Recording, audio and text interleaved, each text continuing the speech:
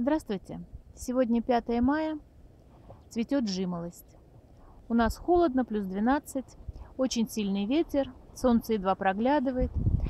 Но тем не менее на жимолость, это сорт усульга, прилетают шмели. Этому кусту четыре с половиной года.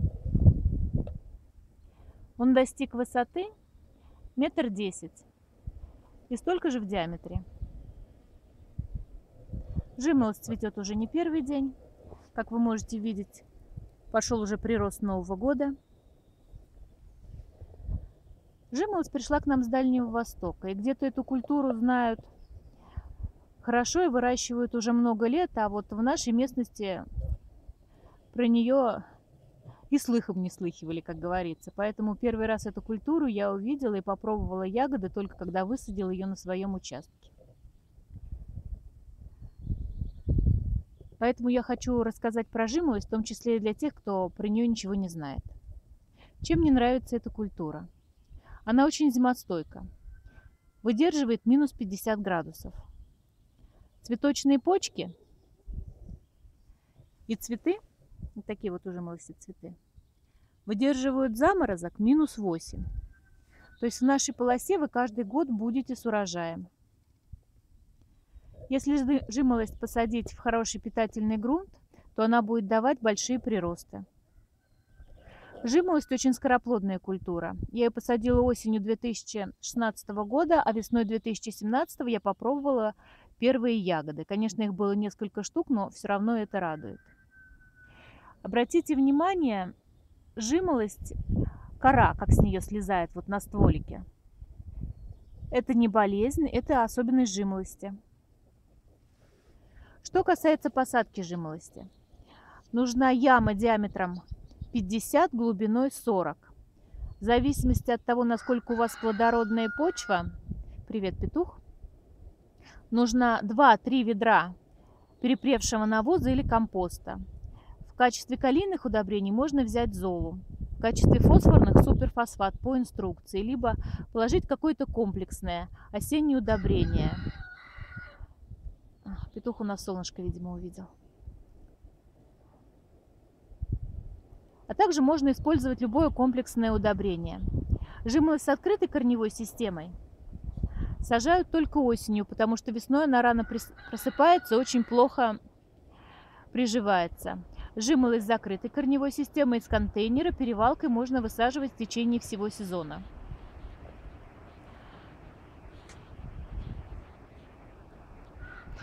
Жимолость очень нетребовательная культура. Ее важно поливать весной и в начале лета. Тогда ягоды у вас будут значительно крупнее. Особенно если весна жаркая и засушливая. Полив очень сильно может повлиять на размер ягод. Болезней и вредителей у жимолости я никаких не заметила. То есть обрабатывать его, ее не надо ничем. Можно получить абсолютно экологически чистый урожай. В подкормках тоже нет ничего сложного.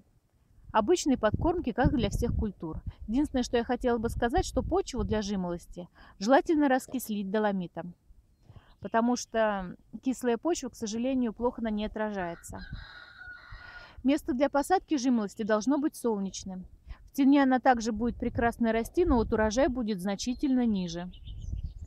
И еще, это вот недостаток жимолости. Это не самоплодная культура. Если у вас один куст, то урожай будет очень незначительным.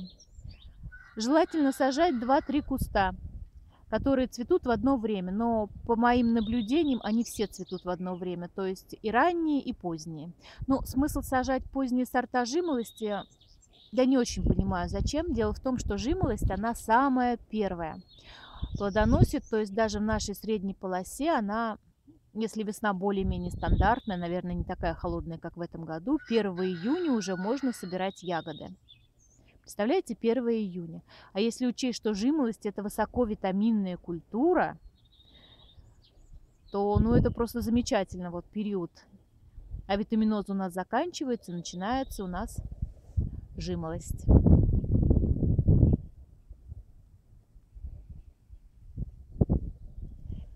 Какие сорта выбрать? Дело в том, что селекция не стоит на месте, и старые сорта, которые продаются у нас очень часто, они, конечно, хороши, но есть значительно лучше. Я приобретала сорта в Бакчарском питомнике.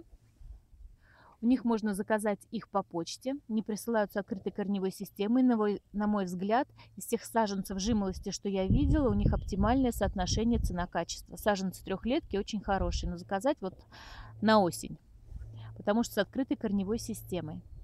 Ищите у них в каталоге новейшие сорта жимолости.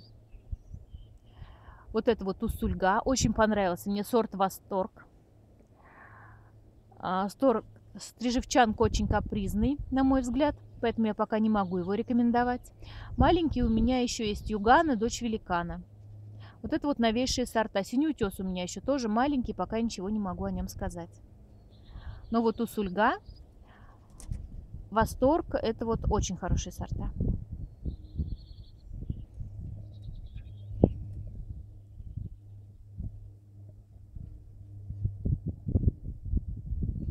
Прилетают у нас пчелки. Пытаются у нас что-то опылять бедные, как их ветром таким не сносит. Но тем не менее. Характеристику по каждому сорту я дам, когда можно будет уже посмотреть ягодки. Пока вот только цветение. Еще говорят, жимолость бакчарская не хороша тем, что она зацветает осенью. Согласна. Вот у сульга у меня сидит на таком тепленьком местечке, а последнее время осени у нас такие затяжные и теплые, что она зацветает у меня каждый год. Вот вы можете видеть цветение, я надеюсь.